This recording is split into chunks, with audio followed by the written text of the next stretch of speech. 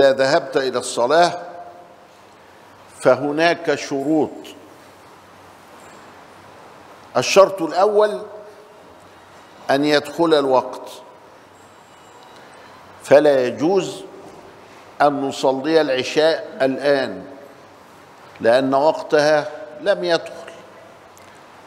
الشرط الثاني أن تعلم أين القبلة. حتى تتوجه إليها.